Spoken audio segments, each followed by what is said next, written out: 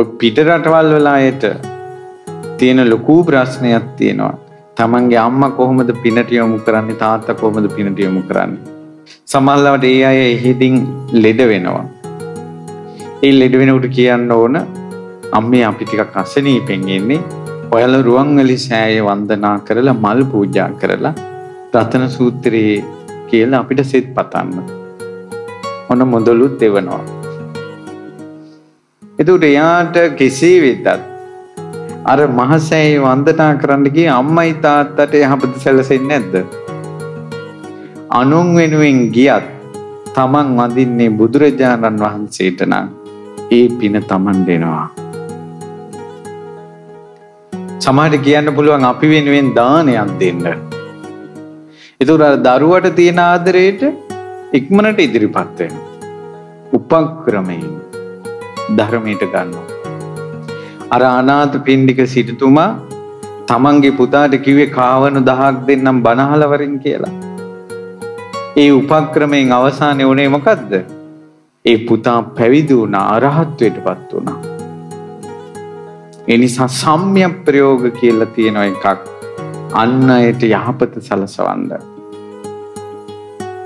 ඊට පස්සේ ඔබට මතක ඇති බිම්බිසාර මහරජ්ජරුවෝ කේමා වේළුවනාරාමයට යවි උපක්‍රමයෙන්. කේමා වේළුවනාරාමයට යන්න කැමති වෙලා හිටියේ නෑ. වේළුවනාරාමේ ගුණ කියලා ලස්සන කියලා ඒ ලස්සන බලන්න යවලා තමයි බුදුරජාණන් වහන්සේ ළඟට යව්වේ නොදැනී. ඒ වගේ නොදැනී උපක්‍රමයෙන් අන්න අය ධර්මයට ගන්නවා කියලා එකක් මේ ලෝකේ තියෙනවා. හැබැයි ওই උපක්‍රම දන්නේ නැතුව තියෙන එකත් නසාගන්නේ කොහොමද? ඔන්න සමහර වෙලාවට දුවෙකුට හරි පුතෙකුට හරි මේ ධර්මයේ ගැන ආසයි තියලා එයා මොකද කරන්නේ? අනේ ධර්මය අපි අවබෝධ කරගන්න ඕන කියලා උදේ ඉඳලා හැන්දෑ වෙනකල් බණ අහනවා. එතකොට ඔන්න අම්මා පොඩ්ඩක් විපරම් කරනවා තාත්තා පොඩ්ඩක් විපරම් කරනවා. බලනකොට මොම් පොත් බලන්නේ බණ අහනවා. ගෙදරම ගිනි ගන්නවා ඊට පස්සේ.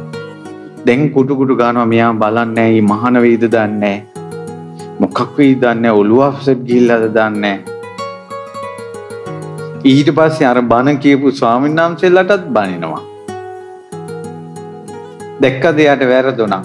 ඒකෙන් උනේ තමන්ඩ බනහන එකත් වලකිනවා ඒ නිසා යාගේ අධ්‍යාපනයට මුල් තැන දීලා ලැබෙන විවේකෙන් නුවණින් යුක්තව ධර්මය අහන්න කාලය යොදව ගන්නවා නම් එයා තමාටත් ධර්මයේ හැසිරෙන්න අවවාද ගන්නවා.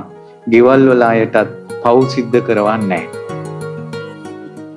මට මුණ ගැහිලා තියෙන තරුණ ළමයි මේ ඉස්කෝලේ යන ළමයි ධර්මයට ආසහිතලා අපි පුහුණු වෙන්න ඕන මේ සීලය කියලා සමහර වෙලාවට රැයට කන්නේ නැහැ.